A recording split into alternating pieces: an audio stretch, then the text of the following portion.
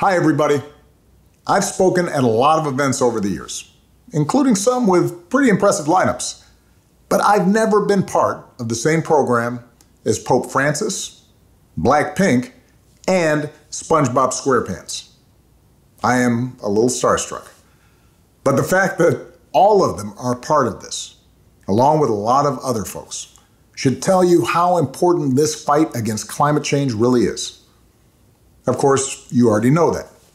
You see it in the reports about 100 year floods, or record breaking wildfires, or severe droughts. Many of you are feeling the effects of climate change every day. And if we don't do something about it, things will only get worse. Now, the easiest thing to do would be to throw up your hands and hope that somebody else solves the problem. That's what some people in my generation have done, but I don't think you're going to do that. And here's why.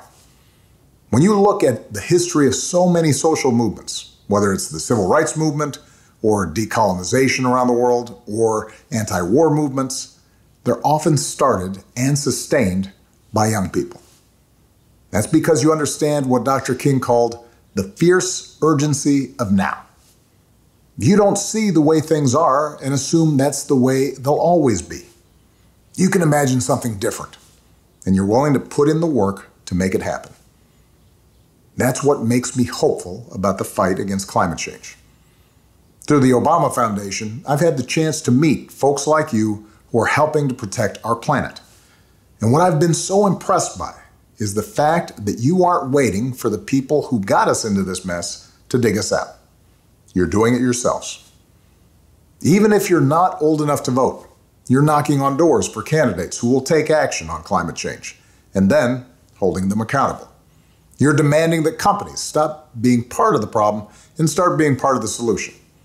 And you're encouraging friends, family, and anyone else you know to join the movement. All of us have to find our own path to service. No one can do it for you. But if enough young people make their voices heard, that's how progress gets made.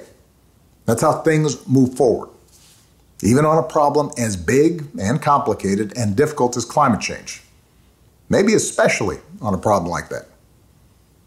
So, just like you wouldn't let your grandparents pick the music you listen to or the clothes you wear, don't let anyone else decide your future.